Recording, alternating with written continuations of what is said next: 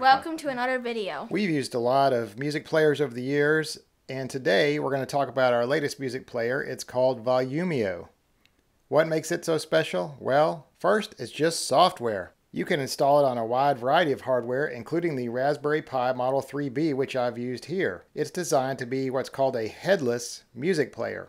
Everybody in your house can use their phone or their web browser on their PC to control it, and when you update one screen, all the other ones stay in sync. Like I'll change the song here, and you notice the phone gets updated too.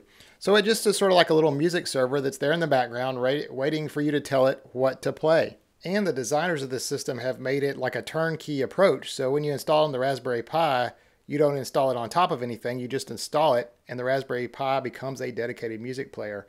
Here you see some of the screens in the user interface. The key thing to know is that in order to enable certain features, you use what are called plugins. And so, for example, there's a plugin to activate Pandora. The Spotify plugin requires a premium account, but you can get around that by just using AirPlay from your, your phone. In general, I found the UI easiest to work with using Chrome on a PC. So why do you even need this? Well, for me, it's been a great way to get my digital music files over to my sound system that my PC is not directly connected to when I'm at work, for example, it's a lot less effort to just go to a browser tab and send a song over, you know, than deal with a music player right there sometimes. And my wife was also able to use her iPhone to send uh, Spotify music directly to this. So it has AirPlay support built in. In addition, I didn't know this, but Windows 10 has a casting ability built in and you can just send a song to it. So it's, it's really just got a lot of versatility when sending music to it. As you see on this screenshot, it does build its own little searchable database, but you don't have to use this. I was able to integrate it into my existing sort of digital music strategy and use my own uh, Foobar 2000 playlists that I've already created with it. Now, if you're a Raspberry Pi user, setting this up is really easy. You just download the image, you flash it to an SD card, and you install it. And if you're using Ethernet, that's it. If you need to use Wi-Fi, it will create a temporary network and you can connect to that and configure your own Wi-Fi network. But this only worked for me on the Model 3.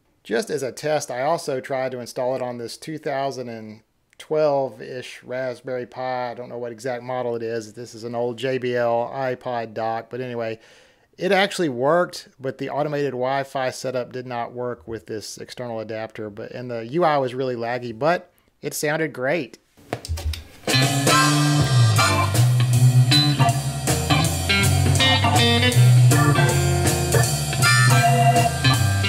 that's basically it for the major part of the video. Just a couple of closing notes on some things that might be useful if you want to try this. One is a DAC or digital to analog converter. You really need this if you're going to listen to this with any sort of seriousness. I thought when you read about Volumio, it's like, oh, you need an audiophile DAC, but really you just need one to make it sound decent on the Raspberry Pi. This is a Hi-Fi one, Hi-Fi Me DIY. It was about $30. It's got optical and analog out. It sounds perfect on my Sansui 77. Sounds really good. Got those uh, RCA connectors.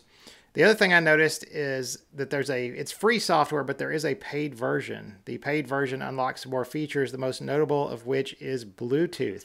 Uh, but this was not a showstopper for me. If you remember an earlier video we released, I have this these little Bluetooth adapters should I want to use them, but with all the casting possibilities, I really haven't missed Bluetooth in this particular setup. In conclusion, I think I really like this. Um, there were some occasional playback problems, mostly on the UPnP side, not on the NAS side, with files that wouldn't play or got cut off prematurely, but in general, for free software, it's excellent. I like being able to let my family play high quality music over my vintage system. They would never probably thread up some tape or cue up a record, but they will cast to this thing no problem.